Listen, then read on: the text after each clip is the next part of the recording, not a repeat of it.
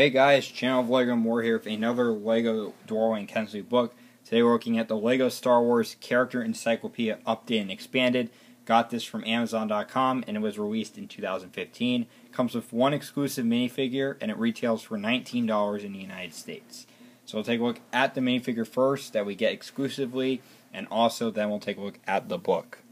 So the minifigure of this um, book is Boba Fett. But this is the white variant that was based on early concept art by Ralph McQuarrie. And I think the figure looks fantastic.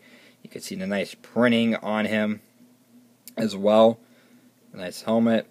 His face underneath is a clone trooper face, but it's the more uncommon one. Um, so I like that.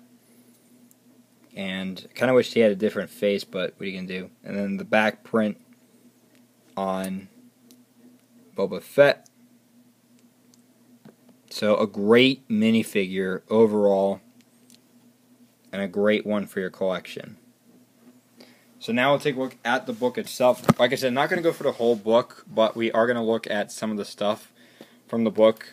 You can see the nice book over here.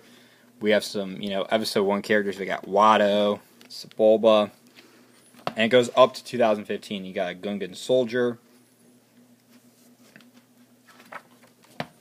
Also, with episode 2, you got Anakin, Zam Wesell. The only way to get her was back in 2002. Geonosian, Super Battle Droid. Got the Clone Wars variant of Yoda, Luminara Unduli, Rod of the Hut. You can see the Clone Troopers. And you got more of the Clone Wars You got, you can just see here, you got the Senate Commandos do own these minifigures. I think they look fantastic.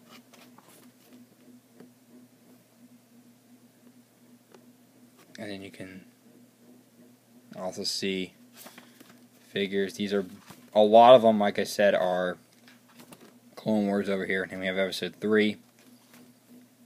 General Grievous. I own that figure. Great variant. And then we have the Clone Troopers. Absolutely love the Kashyyyk ones the best. They just look fantastic. And you got a lot more. It even explains what sets they come in. So you got the Rebels, some droids, and then you got Greedo and Han.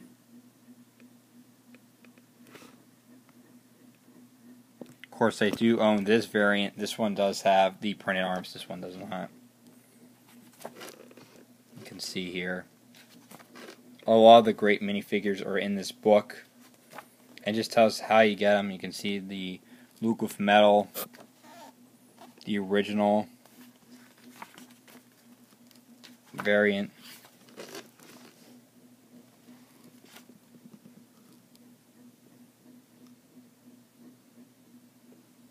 And you get the metal variant of Luke Scott or Han Solo. This one appeared, I believe, in the first character encyclopedia. And you just have like Lobot. You got Jabba's Palace characters. Just overall, very fantastic book. And you got the what was it? The um oh, Old Republic. That's what it was. And you have Yoda Chronicles. And you got Force Unleashed. So yeah, that is basically a little quick look at the Star Wars Character Encyclopedia, updated and expanded. Um, I think it's a great book, honestly, for $19. And it does contain a really great minifigure, which is the white Boba Fett. And this is the only way you can get it. And I think it's a great minifigure.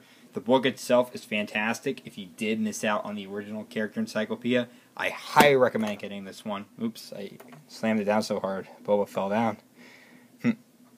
but overall, I think it's a great book, and it's one of the, honestly, one of the, my favorite books that Lego has made with Dorling Kindersley. I think it's a great book, and I highly recommend it to any Lego or Lego Star Wars fan, or any Star Wars fan in general will love this book.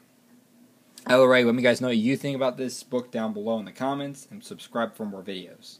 So, peace out, guys.